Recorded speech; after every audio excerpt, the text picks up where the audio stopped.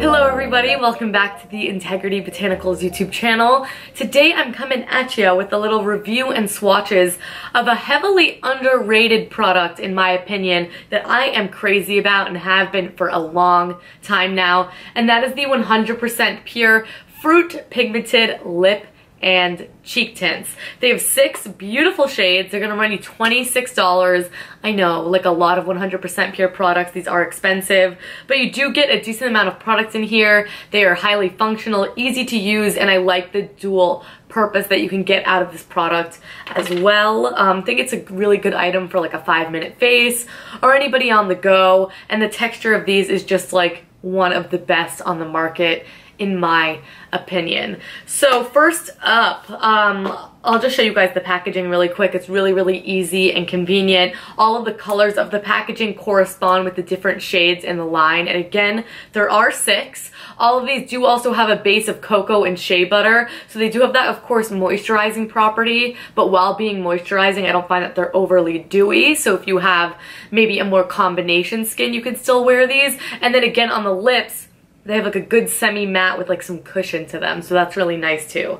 Anyway, the packaging just looks a little something like this. They're just in these little plastic jars that have a cool little floral embossing. Then you open them up and they all twist off. And the thing is quite wide, so that you're not getting a much depth in product. It's really wide, and I have yet to make a significant dent in my most used shade. So before I get into the color swatches, I wanted to tell you guys a little bit about application, wear time, things like that. One of my most favorite things about this product is how easy it is to apply. So what I like to do personally is I'll just take the cap off, I'll twist it up a little bit, and I will just rub my finger in the top, whether it be my middle finger, my ring finger, if you want to do less pressure. And then I just dab it onto the cheeks and just start stamping it sort of in a circular motion just to make it nice and even. I, I love these because they don't really cling to dry patches at all and they're also not really hard to blend or overly pigmented. However, if putting your finger in it is not enough pigmentation for you, you could go straight in, but I think that makes more of like a stripe. You're depositing a lot more product. I would rather build it up on my finger than go straight in with too much personally. And to apply it to the lips, I do the exact same thing. So the finish on the cheeks is really just skin-like, satin-like. It doesn't have a strong shine like a lot of cream blushes do. I think the Kjaer Weis ones give off a really beautiful luminosity, which I think is very pretty, but it's a different sort of look. And I think um, you get a little bit more wear time out of these. Um, on the lips, the same thing. They're more like semi matte finish. It looks matte, I guess, like in terms of how it appears, but on the mouth it does sort of have a cushion to it that allows you to move like your lips back and forth. And I just like to dab this on my on my lips too, and I'm wearing the shade um, Shimmery Cocoa Berry. Really, really love this shade. Had it for a while. And as far as scent goes, these just have a really nice fruity scent. Reminds me of like their mascara, the way the mascara smells, but not quite as intense if you guys are familiar with that. So these are really easy to use. And like I said, wear time, this is not all day. Cream products are not all day. I really don't care who you are. It has to be one heck of a product, especially in the natural community. However, I do probably get a good five to six hours of wear, I would say, out of this. After an eight hour workday, I only notice just a tiny little bit maybe on the apples. However, my, my favorite thing about the packaging is that it is so easy to apply and really easy to take with you on the go. And it is functional for both cheeks and lips, which is beautiful. Moving along, let's get right into the swatches. Instead of putting out my face, face because I don't, I think this is, I like this more as a blush than as a lip tint, but you can use it for both, so that's really nice. I'm just gonna swatch them on the back of my hand for color, and then if you guys want a video on maybe like how to apply cream blush, that could be a separate video. So getting right into the shades, there are six. The first one I have here is Peach Glow, and this color is beautiful. It's really quite vibrant, very uplifting to the face.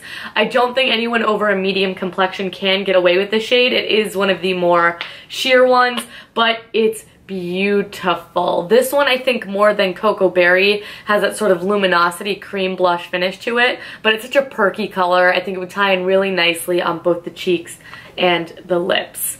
Moving along to the shade I have on today and my personal favorite. I think it sounds the scariest, but it really is very wearable. This is the shade Shimmery Cocoa Berry and you think, oh my god, this is gonna be brown. It's not. It's actually just a more brown toned peach. So it actually is a pretty true peach shade.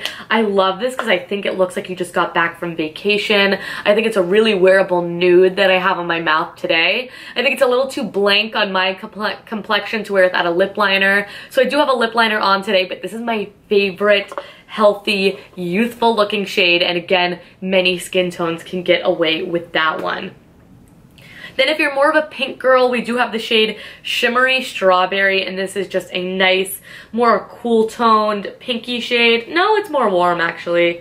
More warm pinky shade, but it just has that sort of Barbie look to it. Really, really pretty. Again, very uplifting sort of product, and I think it would tie nicely on both the cheeks and the lips. Then if you're still a pink girl, you just want it to be a little bit deeper. This is where we start kicking it up a notch in the way of different colors. This is the shade Sugar Plum. And Sugar Plum is beautiful. It almost has a little bit more berry to it. So if you have a dark complexion, I think this is going to be the one that you gravitate towards. It's absolutely stunning and these blend so easily so you don't need to fear these sort of deeper colors. Then another sort of pinky shade, but this one is like neon. This is like a pink and a half. This is the shade Pink Grapefruit Glow. So this is a lot more cool toned than, um, what is that one called? Strawberry?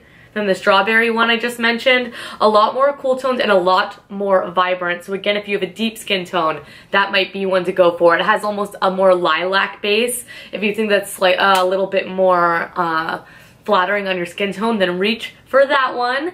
And then wrapping it up with the darkest in the bunch, and this one's probably my favorite to sort of throw on the lips. It's such a nice color. This is the shade Cranberry Glow, and it's just a pretty true cranberry shade. It's not quite as deep and berry as like you would think like cranberry, like more fall. This is a more punchy, sort of brightening fuchsia shade, but it's gorgeous. And again, even though it gives you that sort of, this gives you that very rosy sort of dull flush, really gorgeous. And this one you just need the tiniest little amount. So that is it you guys, it's all six shades. I think though they all have a similar vein, there's enough difference to each and every one of them. Again, my favorite is the cocoa berry one. I think it's gorgeous. Would be really great on a medium skin, I think as well. And quickly before I go, like I said, these are not all day blushes. I've never met a cream blush that lasts on my face all day. Blush is always the first thing to go. I wanted to give you guys a little tip that you could put on a corresponding powder blush shade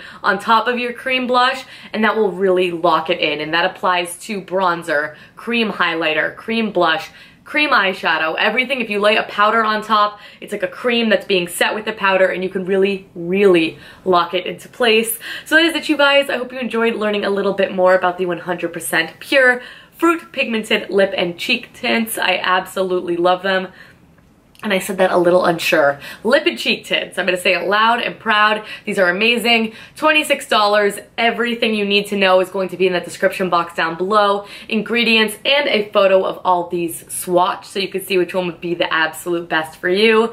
But thank you guys so much for watching this video. Thank you so much for all the love and support. Check out our social media down there and give the video a like and subscribe. And until next time, I will catch you in my next video.